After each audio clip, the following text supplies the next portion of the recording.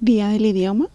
La ONU oficialmente dice que se refiere al día para concienciar al personal de la organización y al mundo en general del uso del español, de su historia, su cultura como idioma oficial. Pero, ¿qué relación guarda el español como idioma oficial y las personas sordas usuarias de la lengua de señas?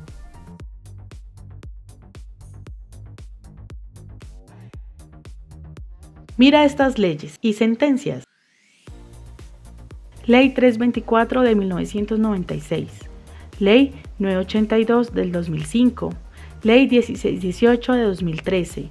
Sentencia C 605 de 2012. Dan reconocimiento a la lengua de señas. Las personas sordas adquieren el derecho de hablar libremente en su lengua, en medio de la mayoría hablante del español, logrando estatus de la lengua, aunque se está en un ambiente hablante del español. ¿Qué logros se han tenido la lengua de señas?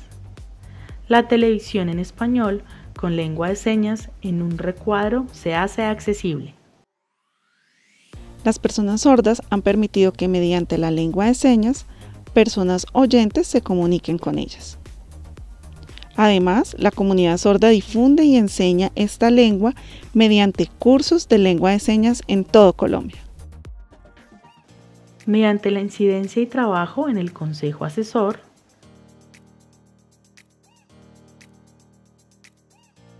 la lengua de señas consigue su reconocimiento y visibilización para ser incluida como lengua nativa. Las personas sordas, con el objetivo de preservar su lengua, han incorporado en su agenda los procesos de planeación lingüística necesarios para mejorar el estatus de la lengua. Los servicios del Centro de Relevo, CIEL, relevo de llamadas y videomensajes por WhatsApp han tenido accesibilidad para las personas sordas, con aproximadamente 4.500.000 servicios. Viste todos los puntos sobresalientes respecto a la lengua de señas, que aunque se está en medio de una mayoría hablante del español, se ha reconocido la lengua de señas y ha mejorado su estatus en medio de las lenguas. Por lo tanto, sin accesibilidad no hay derechos. No debes conformarte. No. Ánimo.